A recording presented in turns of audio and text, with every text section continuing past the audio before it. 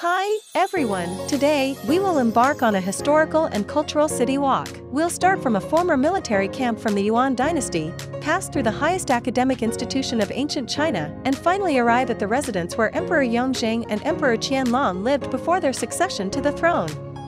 Ready? Let's go!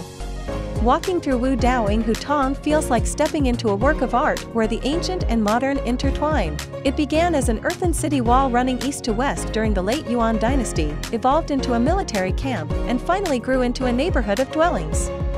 This 600-meter-long Hutong has been extensively restored into a hip cultural hub, complete with boutique shops, craftsman workshops, cafes, and eateries.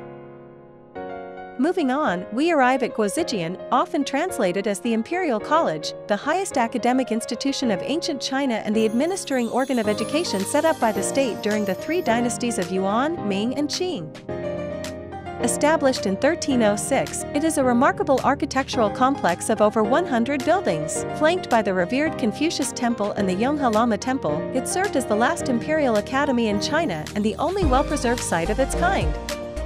Our final stop is Yonghe Lama Temple, the largest and best-preserved lamasery in present-day China. Here, you can observe the worshippers' prayers and sense the tranquility they seek.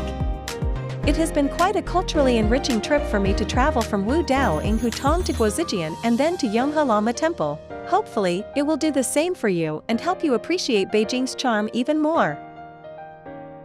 Do you like this route? Don't forget to like, follow, and let me know your favorite places in the comments. Let's discover Beijing together.